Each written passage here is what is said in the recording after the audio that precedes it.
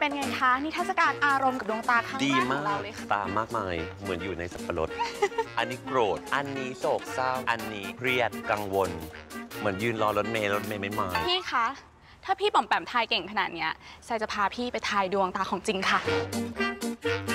พร้อมทายดวงตาของเราหรือยังคะ พร้อมค่ะ ลองทายดูค่ะ เขาบอกถึงความรู้สึกอะไรคะพี่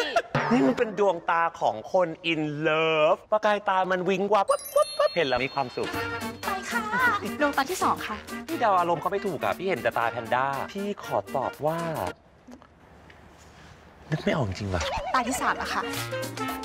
นี่คือรับรู้ได้ถึงความเป็นกังวลในดวงตาของเขา ไปดีกว่าที่จะดูกังวลน่ากลัวไปค่ะจังเลยอะนี่ดวงตาที่สี่แล้วค่ะ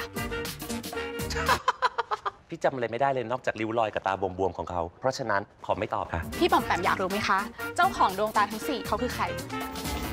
เอาวิจัยละ มีกันสองคนเหรอ สองคนสี่ดวง นี้ไงคะซ้ายตา ขวา อ๋อตอบกันได้แบบนี้เดี๋ยวไปคุยกันหน่อยถึงเจ้าของดวงตาสี่ดวงที่ไม่เหมือนกันเลย คนนี้อินเลิฟไม่ปฏิเสธเลยค่ะ นี่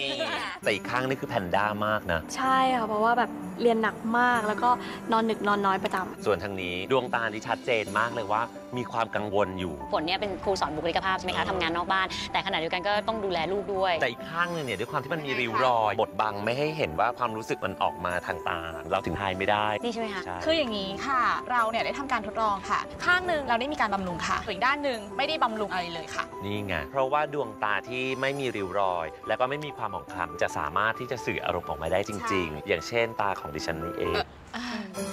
สื่อทุกอารมณ์จากดวงตาที่อ่อนเยาว์ใหม่โอเลไอส์